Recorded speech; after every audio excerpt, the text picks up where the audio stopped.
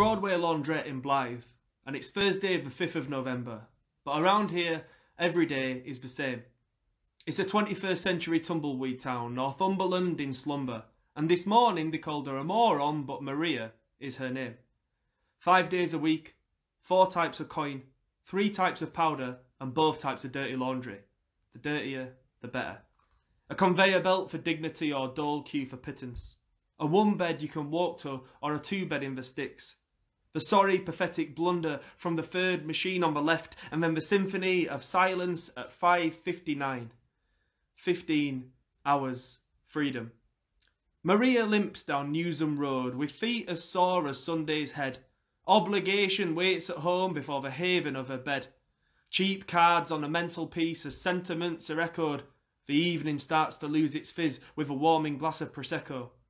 The boyfriend leaves at seven for the bonfire at the quay, leaving Maria sat as mum starts to snore on the settee. Sat stubbornly, she smiles beneath the window, struggling to surrender any fucks. Her solitary 22nd birthday, the adulthood of two little ducks. And she drifts between an evening on the Bombay and the Blow, diluting her dilemma. Should she stay or should she go? Good evening, everybody. My name is Matt Abbott. Welcome to this week's Insta session. For those of you who don't know, um, we've been running these Insta sessions every week since the start of May. I really enjoy it. I've been very fortunate in um, being joined by some of my favourite poets from around the UK and even further afield. We've had uh, poets from Sweden and the US as well. And tonight, uh, I'm being joined by Ella Dorman Gajic. Um, she is a poet, playwright, and performer from Brighton. She is the co-host uh, of Off the Chest Spoken Word Night. Has performed poetry and theatre all over the UK, and I'm very excited to join her. Um, I'm very excited for her to join me. I'll invite her onto the call. Do-do-do-do.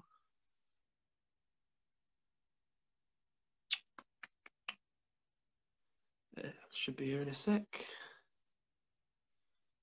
Here we go. Hello. Hiya. How are you doing? I'm well, thank you. How are you? Good, thanks. Yeah, nice to see you. Lovely to see you too. Thank you so much for having me. I reckon you're. Are you based out east as well? East London. Uh, no, I'm not actually East London. I'm in West London. Oh, I see. I'm like a traitor. Because uh, obviously, off the chest is in East, um, but I have to travel all the way there every month, which is a pain in the ass for me. But I like going to Mile End very much. I've not with you already. Like 20 seconds into the call, I do apologise. I just thought you'd be the first person I think that I've spoken to that's also in East London. Like of all the places around the UK, like you'd be the most. But never mind. Yeah, I, I live in West with my auntie at the moment. Um, if I had it my way, I would like to live in East. So I've got my I've got my eye on East. I'm browsing. it's all right. It's good fun. It's good fun. Um, so you're from Brighton originally. Yeah. Yeah. Um, and you've performed all over the UK, Edinburgh, Norwich, um, all over the shop. Is there anywhere in particular that you've enjoyed performing the most? I know that's a tough question, but. Wow. Um, I think I have to say Edinburgh Fringe just because I think it teaches you so much as a performer. It's not all plain sailing. Like it's not necessarily the most enjoyable. Um, even though you have your biggest highs and your biggest lows, I'm sure you've experienced it as well. You've performed at the Fringe, haven't you? Yeah, it's like poetry. Yeah. It's like performer boot camp, isn't it? Mm, exactly, exactly. Uh, so I would say for that reason, I probably enjoyed it as an experience to remember. At the time, I was probably hating it, like, why the fuck did I come here? But you look back and it's yeah, it's it's all for the best. um, so were you uh, performing a theatre piece there, or were you performing spoken word?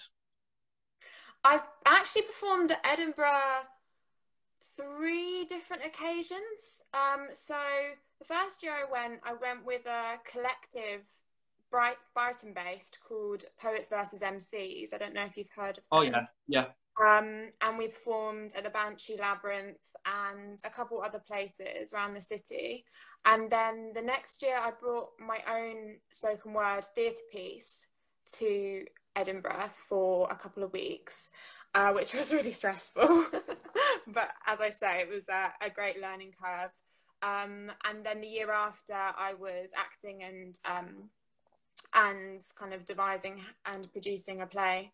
Uh, uh, so I've done I've done it three times, um, uh, and every time's been completely different experience, and different things get thrown at you every year. So uh, yeah. yeah. three different hats on. Mm, so like, yeah. Um, so when you say so spoken word theatre show, um, presumably an hour long. How what was the format like? I'm always intrigued. What was how did what was how was it um, when you say spoken word theatre show? As in, why was it not a play? I'm very intrigued. As in, I don't mean that in a bad way. Like I'm fascinated mm. by it. I love it. Mm. Oh yeah, I know what you mean. Um, uh, so I actually wrote it originally as like a compilation of poems that were essentially around the same theme of growing up as a girl today and like trying to navigate womanhood and all of that messy stuff. So yeah. I didn't write it me I wrote it to be performed but not necessarily like as a theatre piece but my background is very much in theatre and um, so I collaborated with a friend who is a dancer so we kind oh. of created like a, a, show that was, I guess, like we did create a narrative because we created characters within the poems. Um, but I wouldn't say like it had like the rise and fall of a play because each piece was standalone. So it's kind of like pieces that ran together with movement and poetry that were all on the same theme of womanhood. Um, yeah so that's why I, I kind of gravitate towards saying it's more of like a theatre piece because I write plays as well and my approach to writing plays is very different because um, yeah. I kind of have to plan it all out rather with poetry I'm kind of like oh I'm just drawn to writing about this theme and then they all kind of come together uh, I yeah. don't know if that makes sense yeah well no it's fascinating that's why I asked because I know that obviously you're a playwright as well so I was just curious to see how you introduce poetry into a theatrical setting because um, mm. obviously like even doing like a 20 minute set you do sort of think about the flow of it but it's not the same as putting into a show is it so i was ju- i was just curious like that sounds fascinating sounds really cool mm-hmm. um, mm. do you find that you are a playwright first and foremost and then a poet or vice versa or is it difficult to uh, i think it's actually really difficult because um, i actually started writing poetry first but um, in terms of like writing to show people and I felt more confident about it. But then I did a degree in script writing. So okay. um, um, uh, because like I'd kind of come into the world of the arts through theatre. So I kind of like um, yeah, and then I was like, oh, I'll, I'll meld the two. So I did write this. Uh, the first play, like proper, I would class as a play, was actually um, a play that actually had characters who like wrote poems. so kind of, nice. The, the, poems were within actually within the narrative of the play. Um, but I suppose some years I think like I can only write a play, and some years I'm like I can only write poetry. It's like happens in years. So like last year I was like working on like a really long play and um, I finished it and I hadn't written like any poetry that whole year and then this year I'm pretty much only writing poetry so it's really difficult to like say which one to be honest um, fascinating. Yeah. yeah but yeah. That's fascinating to get an insight into your your you know your process and how you bounce between and I guess one might inform the other and one might trigger something off in the other. It's just really interesting to see how different writers operate really Um, do you fancy doing a poem? I'd love to do a poem. Cool. Cool. Um, so this first poem is titled To Satisfy and it's inspired by a Terence Hayes poem titled Wind in a Box. Um, and it goes like this. I want to always live in the conviction of the lioness in the giddiness of not stopping for air. I never want to follow those with an empty chest. I want to remember the scents we spewed, spliced with 2 a.m. beer breath. I want to compose a song of your soft howls at the football through the walls. I never want sand stuck in my throat. If a penguin steals rocks to make a nest for his lover, I want to take everything I can to make my body your home. I want the blazing dress on my busy thigh. I want the toothbrush bristles on my busy tongue. I never want the feel of Sunday night. I want to be the train ticket in your pocket. I never want to live without a journey, but I want the cuddle of crap telly. If water on Mars means life, then I want to drink in all this world can splash at me. I want the last cold pizza slice in your empty kitchen, bum perched on the surface. I want the more I want the mornings that budge into afternoons, but I don't want the grandma's guilt or the snail's shame. I want the sunset's glory. I want to chase your kiss into the silent alleyway, but I don't want that to turn to the butter knife of nostalgia. I want an ear full of curiosity that travels up to the Sistine Chapel, and I want you to satisfy its winding its unpredictable nooks and tunnels. I want this praise of the stage, but I also want the curtains to make me clueless again. I don't want to be caught in others' fires, but I want to blaze their kindling anew. I want to make a sofa out of you, where I will read this once I am proud of my heart, knowing I cannot satisfy all my wants. You cannot satisfy all my wants, but when I go, my wants from this world will be all but firewood, heavy with memory. Thank you. Wow, that was beautiful. What a, what a poem to start on. Bloody hell. yeah, so many incredible images in there and so many just I just went so many yeah, yeah. That was great. I will never be a judge on a show because I can never give articulate feedback, but that was just beautiful. thank you. oh, thank you. Thank you very much. Is that a um, relatively. Yeah.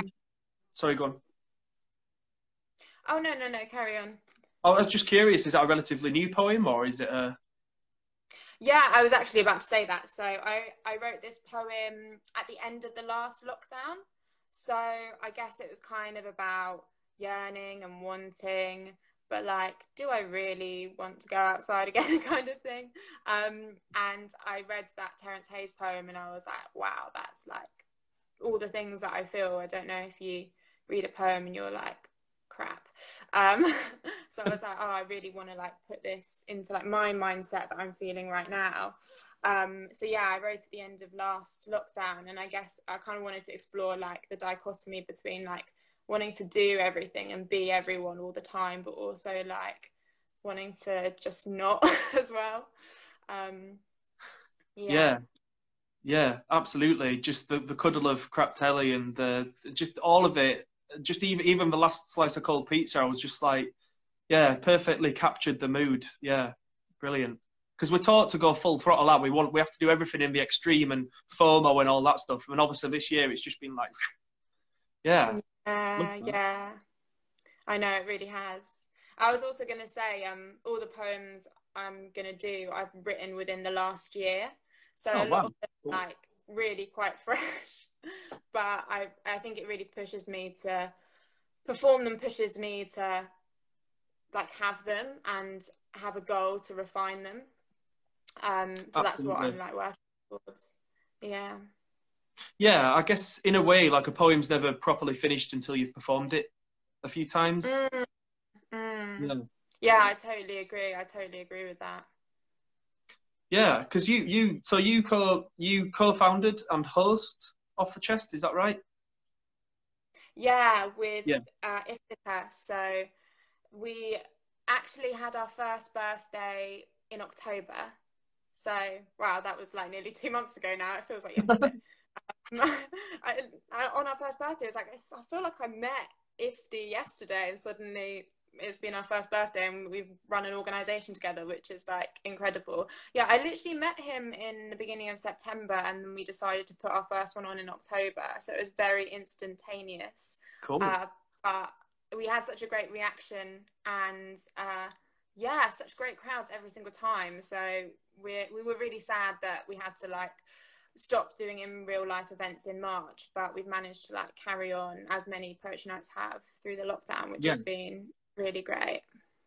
Yeah. Uh, do, do you find that um, as a writer, do you find I, well, well, basically, what I'm saying, I host a lot of nights as well, and I think it improves me tenfold because I see people that I wouldn't necessarily have seen, and I don't know, just being in that live environment all the time, especially when you're not performing, you sort of en- enjoy it a bit more. You know, like when you're doing a set, you're like, oh, yeah. So, Mm. do you think it's improved you as a writer, or do you think you've learned anything as a writer? Like, do you think you think about your poems a bit more? Like, I, I'm just curious to see how other Mm. people experience it, basically.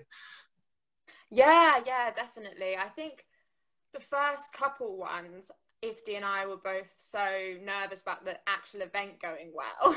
we were almost like we're trying to listen to the poems, but then we're also trying to figure out like tickets and all this sort of stuff. So I'm sure you get that as well. Um, Yeah. But yeah, the last three ones were definitely like such standout moments in my life so far because they just all the poets have been such incredible standard and um so diverse as well which i think actually does make my enjoyment of poetry just yeah it widens my enjoyment of poetry like different styles of poetry come my way and that obviously has a big impact on the way i write as well so Yeah. it's a real blessing oh ifty's here oh, hey I'll have to ask you to do a sesh. Yes, you have to. He's so good. He's got some amazing poems. Amazing poems. Um, yeah, like like you say, obviously, as a poet, the best thing you can do is read as diverse a range of poets as you can. And obviously, buying all the books in Waterstones isn't really something we can do. So being at these nights, Yeah. it's so rich in it. Uh, and even if it's just an open mic and just doing one poem, it's such a rich experience. Yeah, yeah, yeah. Cool. Mm, mm. Well, I hope to be at one of your nights once they exist again. That would be really cool. Um, yeah, Fancy reading another poem? I'd love to. Cool, I'd absolutely love to. Um, okay, this next poem is called. It's titled "Should Have Just Told You to WhatsApp." and I don't know if you write letters. I don't know if that's something people still do, uh, but it's sort of around that concept. And it goes like this I imagine receiving it, my name on a tea stained envelope. Your slow cooked adorations burn through the pages. I sigh, ah, tuck them beneath my wanting breast, bleeding ink onto white linen. My fanciful image of you, quill tickling moustache, sweat dousing scroll, contemplating us. My skin a succulent sin, my chin a dainty hook, my body the pasture you gaze into, Austen style, conjuring sentences with divine eloquence. I sift through post for weeks, set up camp next to the letter flap, lift it up and knock it down, push my fingers through the thick fringe. Wrist gets trapped in the gap as I try to pull something out. I wail to the postwoman, now she's calling the ambulance round. When you asked for my address, I didn't think I'd lose body parts. Ghosting is much simpler over WhatsApp. Brilliant. Love that. wow. Yeah. I imagine it's you sort of know after a few days that you've been ghosted. Imagine waiting weeks for a letter. That's yeah. Hmm, yeah, that's what it was like. Well, I'm sorry to hear that, but you know, brilliant poem. Through all pain comes good poetry, at least. yeah, exactly, exactly. I was like, there's a poem in here somewhere. Some, I was definitely expecting a letter from somebody. Very detailed love letter. It never came. But one day, maybe. It, maybe it just got. Who knows? It might have been lost in the post somewhere. Who knows? Um, Yeah, maybe I'm hear this. I'm conscious that I've been talking a lot, so and it's ten to. So if you would like oh to. I know, I know. I'm sorry, I've been chatting away with you. Um, it. So I just thought I'd let you know if you've got a few more. I don't know. It depends how many you've got, but um, Yeah, yeah, yeah, yeah. I have got a few more. yeah. Cool. so I guess I will I've actually got um, some quite small ones. So I'll do uh, a couple small ones that just like carry on from each other. Pretty Cool. much. Also, Um, if we overrun a tad, it doesn't matter because Bake Off's finished now, so it's fine. Oh, great! Timed that really well for me. uh, um, right, so I'll kick off with this one, uh, which is a really short one titled A Tad Extreme. After he leaves, you smile at air for hours, steal a baby rabbit in search of something softer, douse yourself in vodka to feel something dizzier, crawl into the kitchen shelf, but nothing is sweeter. So you open a bag of sugar and swim. Sticky, you sleep next to a chasm. At the edge, you roll in. It is the closest thing to him climbing back in. And I wrote that one. Um, this is a very lockdowny theme uh, going on, but I wrote, wrote that one at the beginning of the last lockdown, actually. And I Mm. wrote this one um, sort of at the middle of the last lockdown, and it's titled Sirens. We said we noticed them more when watering the plants, sipping coffee, making lunch. We stopped, we listened until sound absorbed into concrete and comprehension. But now they do laps around our living room, each time a new best score. In bed between brimolia leaves, splice themselves with the cheese. We stir the noise into our coffee. It dissolves with the sugar. We chat over sips, not stopping to listen when they start again. Nice. Love that. Um, Thank you. And um, I I have one which is uh, also reasonably short, uh, which I can add to the pile of short poems because Cool. I'm aware of the time. Um, and I, I don't want to feel rushed. I do apologise. I just thought I just wanted to give you a, a rough idea. That's all. Oh no, no, no, it's totally fine. I'm like such a chatterbox as well, so I just don't notice the time when it goes really quickly. I guess that's why I like writing poems and performing poems because I know when it's going to end and I have a very like certainty about it. It's Yeah. like just say this, Ella. Don't say anything more. Just say the poem that you've written. but uh, it's been so lovely speaking to you. So thank you so much for having me. oh, Um, likewise. Thank you for doing it. Oh. Uh, so this one is called um, When Time is a Small Child, and it's about my oldest friend. I would walk to yours every morning to straighten my hair before school, roll up our skirts and march in Primani plimsolls past the boys. Gossip who got with who, or you getting sent out for drawing a dick on my planner.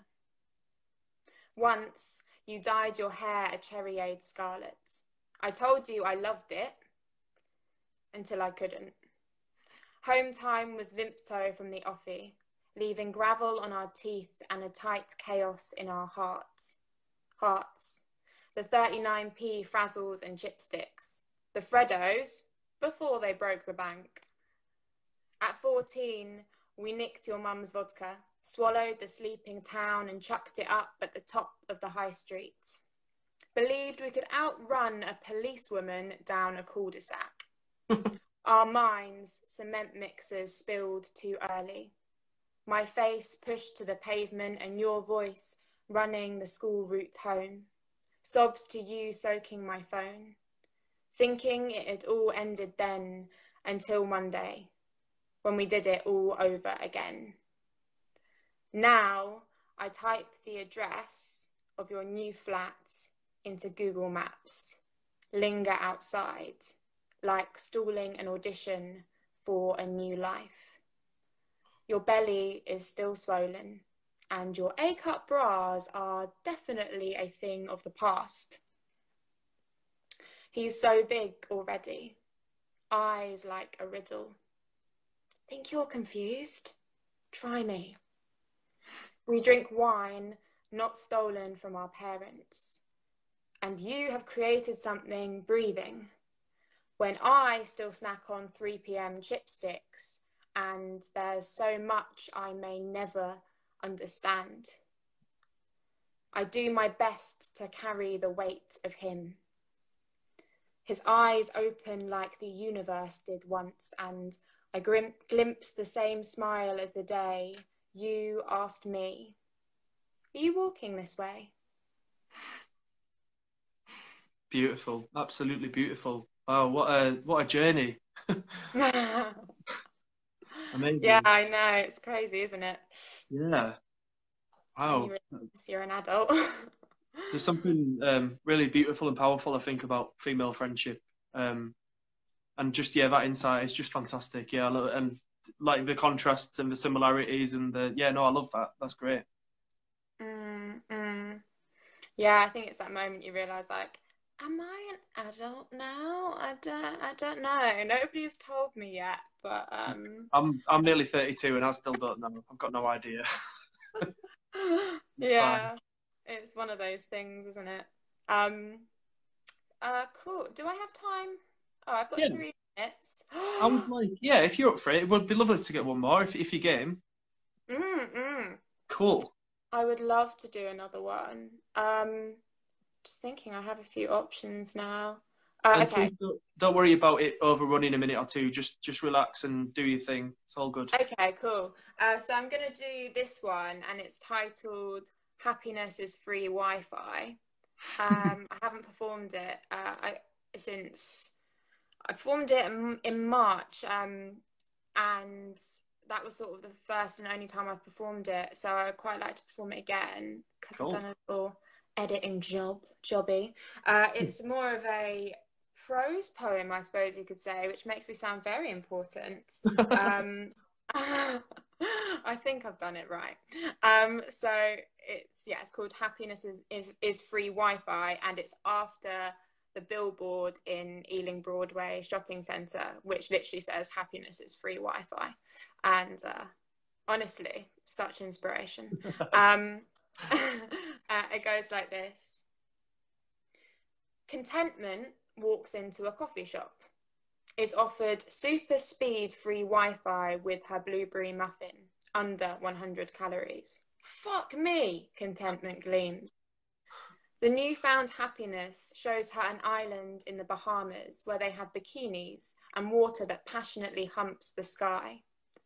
The muffin tastes of fairies having a rave on a cloud inside her mouth.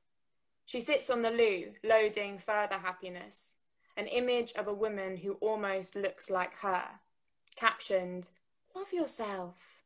She is wearing a backless dress, the type that makes skin look like freshly rolled dough. The shoulder blades, pizza cutters, and the spine a slick, chilly curl. Contentment had forgotten she had a backbone.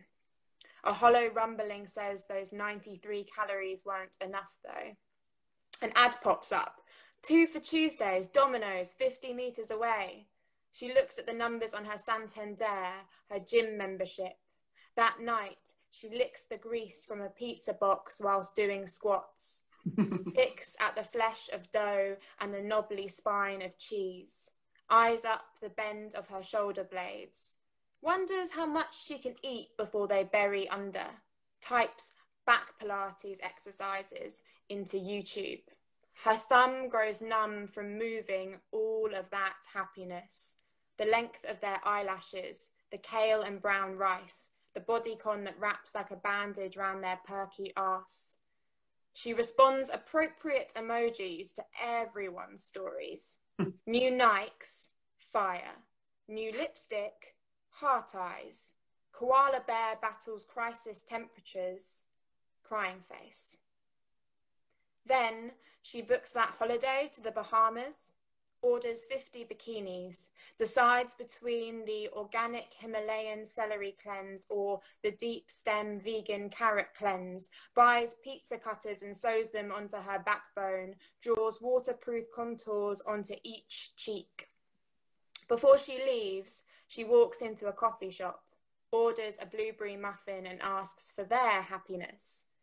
They tell her it's down oh, What's in the muffin? Blueberries and calories. The berry slides down her throat like a regret as she looked as she looks around at contentment, sitting at tables, laughing. nice. Very powerful. I like that a lot. Really got me with the koala bears. Just uh, it's pulling me in with the emojis and then bang. Yeah, no, that's that's that was brilliant point. Thank you. I'm really glad you did that. Oh, thank you so much. Thank you for having me on this stream. My pleasure. Thank you so much for giving up your time and sharing your work and sharing your insights. It's it's great. Um, yeah, like I say, I'll uh, I'll have to get in touch with IFTA and get and hopefully come to one of your nights when they get started again in Milan because I'm only down road. So cool. Yeah, you're in East Ham, right? Yeah, yeah, not too far on the old Hammersmith and City. It's all good. Yeah, yeah, cool. Yeah, it's really close. Yeah. I'm hoping well, to be back soon. Fingers crossed. We'll see. Well, thank you very much. Um, take care until then, and uh, yeah, thanks, thanks a mil. You were fantastic. Thank you. Thank you for having me again, and I'll awesome. see you soon. Speak to you soon. Bye. Bye. That was Ella Dorman-Gajic. Uh, please give her a follow. It's at Ella DG, and I think Offer Chest is at Offer underscore Chest, but it's on Ella's profile, so at Ella DG. Um, next week we're not doing an Insta session because we're doing a big premiere event on Thursday night. Uh, that'll be on Facebook between eight and nine. Uh, we'll be announcing it at the end of this week, so keep an eye out on that. Um, but all of the previous 25 sessions are available to watch back on IGTV, YouTube, Facebook, and all that jazz. Um, so thank you for tuning in tonight. I hope you've enjoyed it. Ella was fantastic. My name's Matt Abbott. We are Nymphs and Thugs.